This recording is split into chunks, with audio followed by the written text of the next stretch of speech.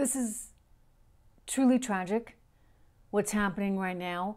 Um, it, it was so preventable if we had just had the right plan. And now Joe Biden, and listen, I wish the guy no ill will.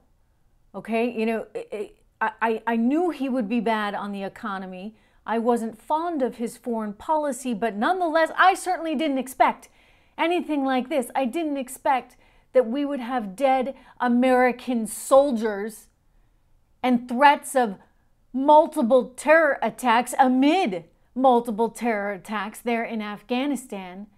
I never expected anything like this, nor do I think many others did, which is why you are now seeing both sides of the aisle condemn the President of the United States for his very poor performance that is costing American lives in Afghanistan. Hello, everyone. I am Trish Regan. Welcome to the Trish Regan Show. Just a reminder to make sure that you go to my website, trishintel.com, and sign up for the intel. Sign up for my newsletter so that we have a way to correspond directly with each other.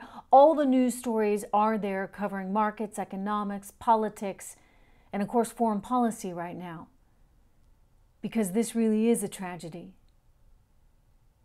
they're talking about, at last count, 12 American military members that have died, upwards of 60 Afghanis that have died that were desperately trying to get out of the country.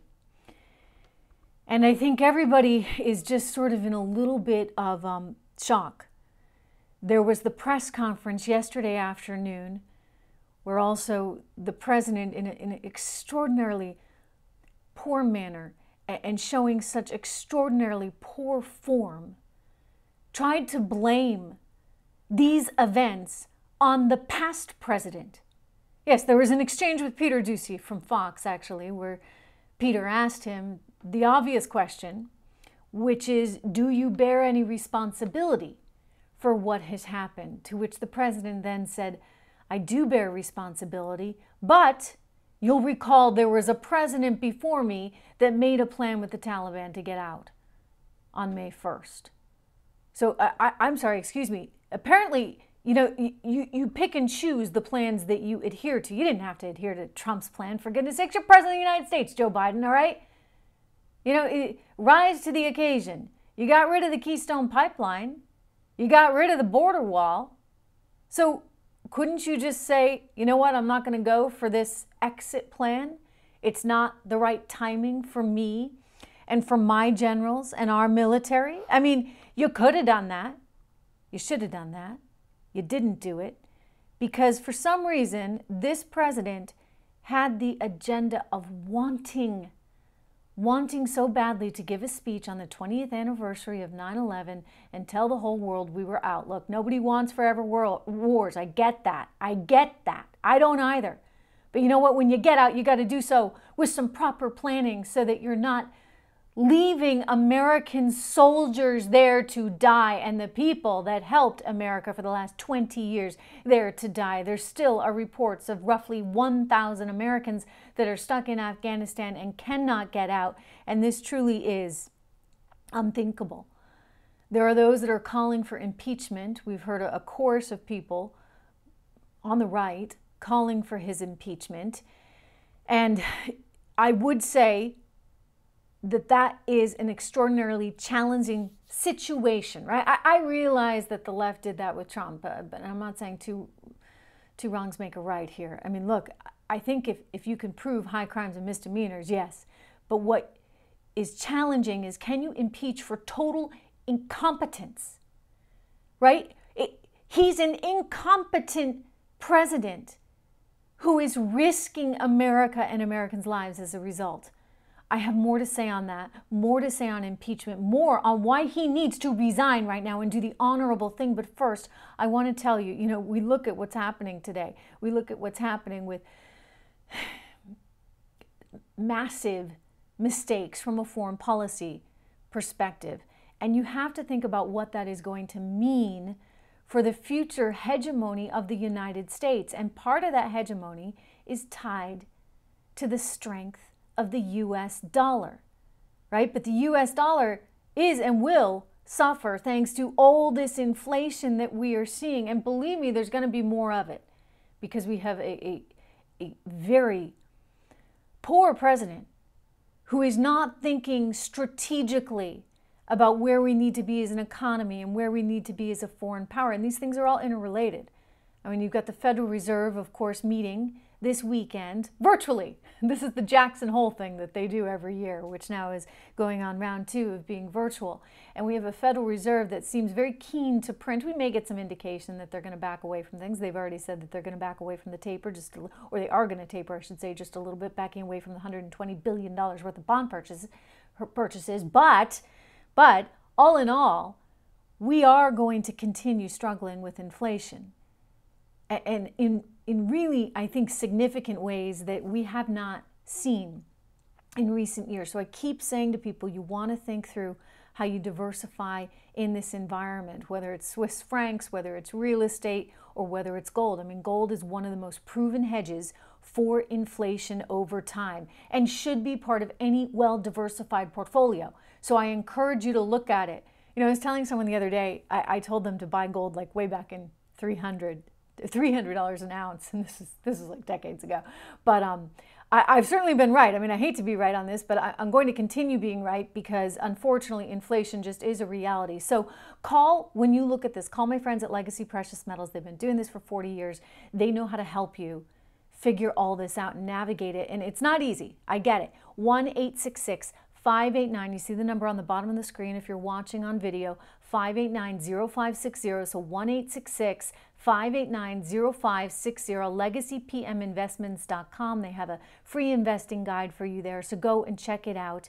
And do make sure that you look out for yourself and you look out for your family in light of everything that's happening. A reminder again make sure you go to trishintel.com. Do download my podcast there. Subscribe to the podcast, subscribe to the newsletter because we need to keep in touch right now for sure.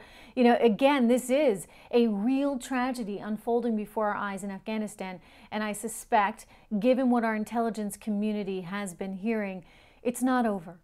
So there will be more lives lost. There will be likely more American soldiers lost. There will be more Afghanis lost. And you say to yourself, what the heck for? So again, he could go up and make a speech and now he doesn't get to make the speech he wanted to make, so he turns around and blames it on Trump. I mean, that was pretty appalling. I'm sorry. We're we're at a kind of war right now with ISIS, by the way, all over again, because it's the ISIS branch, ISIS K, that's over there doing this. The Taliban is who we are relying on for our security. Allegedly, per various reports, the Taliban was provided with a list of names of Americans that the U.S. wants to protect. I mean, I'd be pretty nervous if I was on that list and the Taliban had it in its hands, would you not? And how can you trust the Taliban when we've now just had multiple, multiple suicide bomber attacks?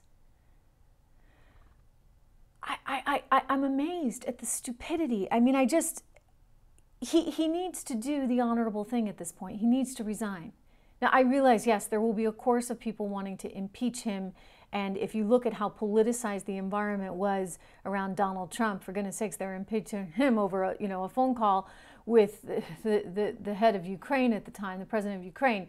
I mean, we're talking about American lives that have been lost now and um, significant danger to the world going forward because you know, and I explain this I explained this earlier this week the threat of new terror attacks with the Haqqani network there as part of the Taliban having a seat at the table. And now ISIS having a seat at the table as well. Now, don't kid yourself. I realize, I realize that the professionals are all saying, oh, don't worry, the Taliban is actually on our side because they're self interested and they want us out of there and they know the way to get us out of there is to make sure that there are no problems. The Taliban, who allowed Al Qaeda to coexist, effectively nurtured it there for years.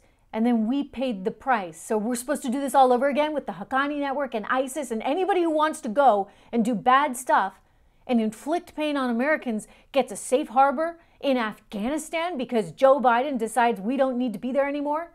2,500 troops. If you could have kept 2,500 troops there and then slowly, slowly gotten out in a way that was not this, wouldn't you have taken that option? I mean, this is this is pretty this is pretty awful. And um, for anyone who's out there, James Carville, I know, has been saying, "Oh, well, you know, this is just what happens. It was going to happen." You know what? It didn't need to happen like this, and I don't want to hear that. That is so disrespectful to the people that have now lost their lives. It didn't have to happen like this. And if we had some more strategic and less political people there in the White House, a little less concerned with speeches and more concerned with ground game, then we wouldn't be in this position today. So if he were an honorable man, yes, he would look at turning over the reins to his vice president. Of course, then we're then we're stuck with her. All right? So, you know, pick your poison here because this is not a good outcome in any way. Then Kamala Harris is president. Kamala Harris, who just laughs every time she's presented with something serious, who chooses to go oddly to Vietnam. Very interesting comparison, right? Given what we're seeing right now. Actually, I would argue this is this is worse than Vietnam. This exit is far worse. It's it's the worst we, we've seen in, in probably more than a decade, right? This many American soldiers killed. Um, certainly within the last two years, I don't think we've lost any American soldiers. It, it is it is unnecessary. It is horrific, and if nothing else, fire Blinken. Okay, fire fire, fire your Secretary of State. Change out your generals. Do whatever you have to do, but we can't allow this kind of incompetence to continue right now. It is too dangerous for America. It is too dangerous for the world. Please make sure you go to trishintel.com, sign up for my newsletter, make sure you are subscribed to this channel on Rumble or on YouTube Make sure you give it a thumbs up or a rumble or a, a like on Facebook, and I will be back again with you here tomorrow. Hopefully, hopefully, we have some better news because you know what? We're going to have to start to rethink everything right now. I'm telling you this. We, as conservatives, need to think strategically about what happens next because we're talking about many, many, many problems many national security problems, many terror threats that will arise out of one man's very poor, very, very dumbly thought out actions. And that's putting it nicely. Okay? Thank you again for tuning in. I'm going to see you right back here tomorrow. We have more to discuss.